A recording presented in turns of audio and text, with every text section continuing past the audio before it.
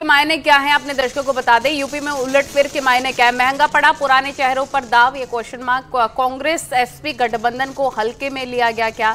ये भी यहाँ पर सवाल उठता हुआ। ओबीसी और दलित वोटर्स ने भी चोट पहुंचाई है।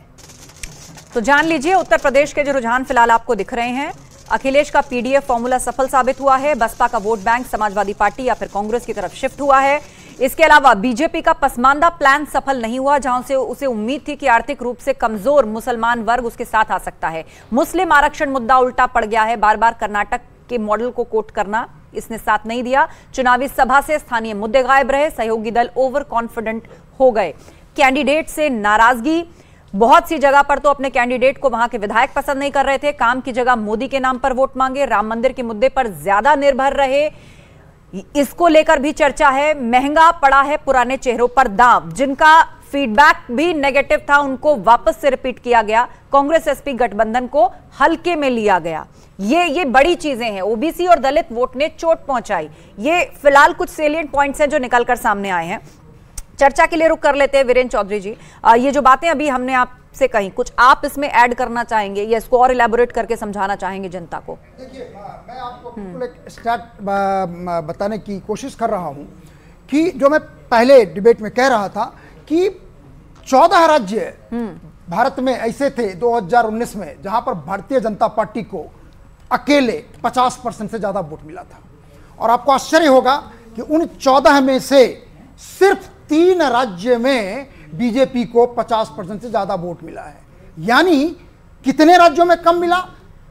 11 राज्यों में बीजेपी ने अपने वोट लूज किए प्रधानमंत्री ने जिस तरह की असंयमित भाषा का प्रयोग किया, ये भारतीय सभ्यता के खिलाफ था और इसी के खिलाफ इस देश की जनता ने, इस प्रदेश की जनता ने वोट दिया है। जिस तरह से प्रधानमंत्री और उनके साथ जो नेता खड़े थे, मन से जिस तरह से उन्होंने इंडिया गठबंधन के नेताओं का, और मैं उससे ज़्यादा कहूँगी कि इस प्रदेश की जनता का जिस तरह से मखौल उड़ाया, जिस तरह से उनकी मुद्दों का, को किनारे रख करके उन्होंने फिर तुष्टिकरण की राजनीति में इस प्रदेश को ढकेलना चाहा, साफ़ लफ्ज़ों में इस प्रदेश की जनता ने उसको नकार दिया है। जी। तो आप आराधना मिश्रा मोना को इस वक्त सुन रहे थे। कांग्रेस की तरफ़ से ये प्रतिक्रिया उत्तर प्रदेश से संबंधित और लगातार अपडेट्स आपकी स्क्रीन पर।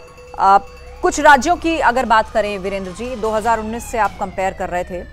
लेकिन इस बार तस्वीर काफ़ी बदली बदली है। और फ़िलहाल पिचानवे सीट पर बीजेपी जीत चुकी है। आईएनडीआईए गठबंधन छियालीस सीट जीत चुकी है। और ओवरऑल रुझान की बात करें तो दो पर भाजपा आगे और 232 पे आईएनडीआईए इस वक्त आगे चल रहा है। अब मोटा मोटी तौर पर आकलन है कि तकरीबन दो से तीन घंटों में ये स्थिति साफ़ हो जानी चाहिए। और सपा कहाँ कहाँ से आगे वो भी जान लीजिए, कैराना, गाजीपुर, घोसी, कन्नौज, अंबेडकर नगर, मैनपुरी से आगे है। समाजवादी पार्टी जौनपुर, रॉबर्ट्सगंज, चंदौली से समाजवादी पार्टी आगे है। इसके अलावा बलिया, लालगंज, बस्ती, रामपुर में सपा आगे है। एटा, प्रतापगढ़, जालौन, बांदा में भी समाजवादी पार्टी का प्रत्याशी आगे है। यूपी में समाजवादी पार्टी कुल चौंतीस सीटों पर आगे चल रही है, जिसमें कैराना, गाजीपुर, घोसी, आजमगढ़ समेत कन्नौज, अंबेडकर नगर, मैनपुरी, जो कि सपा का गढ़ कहा जाता रहा है, यूपी में एसपी चौंतीस सीटों पर आगे है। वीरेन जी, जिन जगहों का मैंने नाम लिया, उनमें वो जगहें भी शामिल हैं जिनको गढ़ कहा जाता रहा है, और बाई इलेक्शन में ये सीटें सपा के पास से चली गई। बीजेपी आई और इस चुनाव में उसने आकर के सबसे पहले कहा कि कोई गड़बड़ नहीं है, परिवारवाद से छुटकारा मिलना चाहिए। अब सिर्फ़ काम के आधार पर जनता आंकती है, लेकिन आप देखिए कि तकरीबन वही सीटें, आजमगढ़, रामपुर, ये हॉट सीटें रही, चर्चा का विषय रही कि दोनों ही मुस्लिम आबादी होने के बावजूद बीजेपी के पास बाई इलेक्शन में चली गई। लेकिन अब यहाँ से सपा के कैंडिडेट्स आगे चल रहे हैं। यादव परिवार के ज़्यादातर सदस्य जो जो चुनाव लड़ रहे हैं, वो सभी आगे चल रहे हैं। इसके क्या मायने हैं? देखिए माने ये है जो मैं स्विंग की बात कर रहा था उत्तर प्रदेश में आठ परसेंट वोट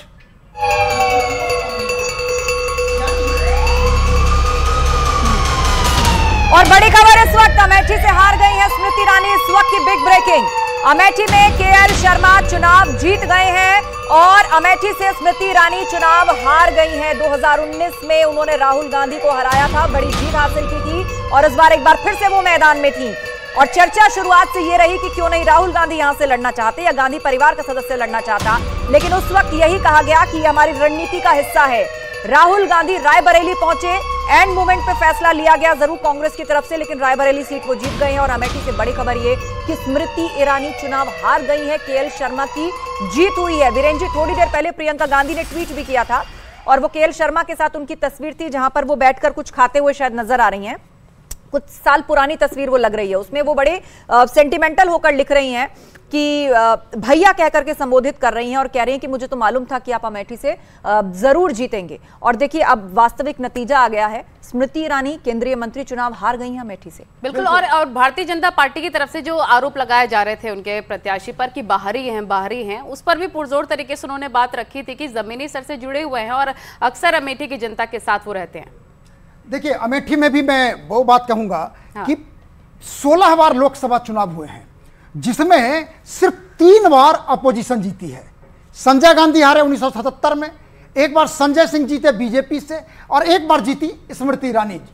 तो कहने का मतलब यह है कि वो भी क्षेत्र जो है जुड़ा रहा है। सोनिया जी भी वहाँ से चुनाव जीती हैं संजय गांधी भी चुनाव जीते हैं और राहुल गांधी भी जीते हैं। तो कहने का मतलब है कि वहाँ पे फैमिली का एक कनेक्शन है जो पिछली बार ईरानी के जीतने का कारण क्या था कि वो विक्ट्री मार्जिन पाँच परसेंट से कम था। हम्म। यानी कि मुश्किल से ग्यारह बारह हज़ार वोट से स्मृति ईरानी जीती थी। और अब की बार उनको काफ़ी वोटों से कांग्रेस का कैंडिडेट हराया है। और जो कैंडिडेट है वो समझिए एक तरह से सरनेम भले नहीं गांधी है लेकिन उसको आप गांधी ही समझिए क्योंकि पिछला रिश्ता 40 वर्षों से है उनका। बिल्कुल, और वीरेंद्र एक बहुत ही दिलचस्प और बड़ी बात यह भी है कि जो कहा जा रहा था भारतीय जनता पार्टी की तरफ़ से कि समाजवादी पार्टी समाप्तवादी पार्टी हो जाएगी, कांग्रेस विलुप्त हो जाएगी, इतिहास बन जाएगी। बहुत मजबूती के साथ यहाँ पर आईएनडीए गठबंधन लड़ा तो है, लेकिन गांधी परिवार देखे कांग्रेस को देखे अमेठी, रायबरेली दोनों सीट उनकी।